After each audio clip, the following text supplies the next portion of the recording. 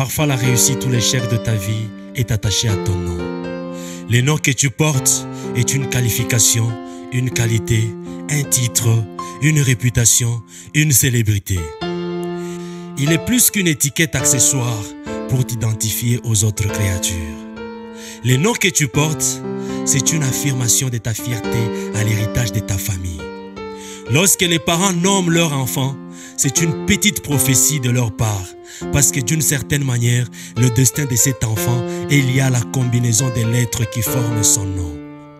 Lorsque les parents attribuent un nom à leur enfant, en cherchant d'abord la pensée de Dieu en prière, c'est faire pénétrer ces noms de la bénédiction. Car si ton nom est attaché à Dieu, Dieu se tiendra à tes côtés et fera tout pour défendre ses intérêts personnels. Tout comme si ton nom est attaché aux idoles ou à la malédiction de ta famille, ces idoles feront un effort pour défendre leurs intérêts dans ta vie.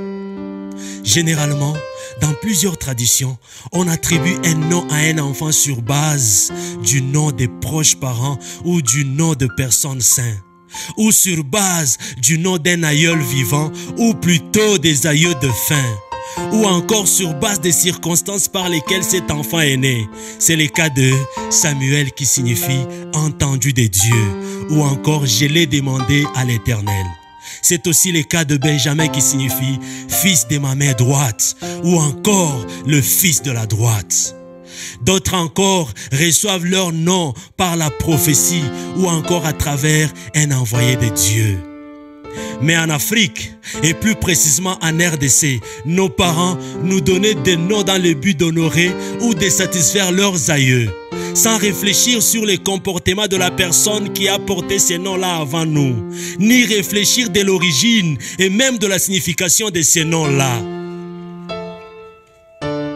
Parfois, sans connaître la signification de ton nom, tu possèdes un nom attaché aux idoles ou aux démons de tes ancêtres. Or, un tel nom doit être rejeté. Car à une certaine époque, certains noms donnés étaient pour exalter des puissances des idoles. D'autres encore pour refléter des sources auprès desquelles des enfants ont été obtenus après des années de difficultés dans les domaines de l'absence de l'enfant. Certains noms sont donnés à l'honneur des idoles ou des entités qui gouvernent le royaume satanique. C'est pourquoi réfléchis en examinant ton nom. Souvent, ton nom personnel pourrait être la porte qui donne à l'ennemi une marge de manœuvre dans ta vie. Comme il est écrit que quiconque invoquera le nom du Seigneur Jésus sera sauvé, tout comme celui qui invoquera ton nom attaché aux idoles sera aussi perdu ou maudit. Champion, réfléchis. Si ton nom contraste fortement avec tes prières et ta profession, le diable peut profiter de toi. Si ton nom a attiré la servitude dans ta vie, pourquoi ne pas opter pour son changement? Si ton nom t'a empêché d'entrer dans ta glorieuse destinée, pourquoi ne pas changer un tel nom? Cherche la signification de ton nom et change-le s'il le faut en consacrant ta vie au Seigneur Jésus-Christ. Selon l'article 64 du Code civil en RDC, il est autorisé d'échanger le nom en passant par le tribunal de paix de la résidence du demandeur. Champion, demande à Dieu de te donner un nouveau nom qui parlera de sa gloire et qui attirera ses bénédictions dans ta vie. La signification de ton nom doit être examinée si tu veux annuler l'influence négative de ta vie passée. Si ton nom est Mashimabi, ajoute à cela l'adjectif qualificatif champion. Donc tu deviendras Mashimabi le champion. Et ce qui va primer, ce n'est pas la signification de Mashimabi, mais c'est le champion. Car nous ne sommes pas des champions par nous-mêmes, mais nous sommes des champions à travers ce que Jésus-Christ a réalisé pour nous à la croix. Par la mort sur la croix, Jésus-Christ a anéanti celui qui a la puissance de la mort, c'est-à-dire le diable.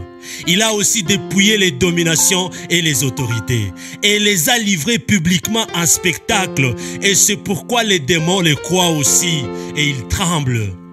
Tous ont absolument peur de Jésus-Christ. Donc, Jésus-Christ est le champion des trois espaces, le ciel, la terre et sous la terre. Et cette autorité a maintenant été donnée à ces disciples que nous sommes. Tous ceux qui croient au Seigneur Jésus-Christ tout en acceptant de le suivre partout et de lui obéir sont appelés disciples. Ils peuvent maintenant exercer cette autorité dans leurs propres circonstances à chaque fois que Satan les attaque. Tu es champion. Change ta vie et change ton nom. Car à chaque fois que ton ancien nom sera appelé ou prononcé, cela va réveiller la puissance de l'idole ou du démon ou encore de la malédiction attachée à ces noms de se manifester. À toi, futur parent, réfléchis avant de donner le nom à ton enfant. Ne donne pas le nom de ton papa ou de ta maman à ton enfant par plaisir. Si tu sais bien que ce nom-là est attaché aux idoles ou aux démons de ta famille, attache-toi au Seigneur Jésus-Christ.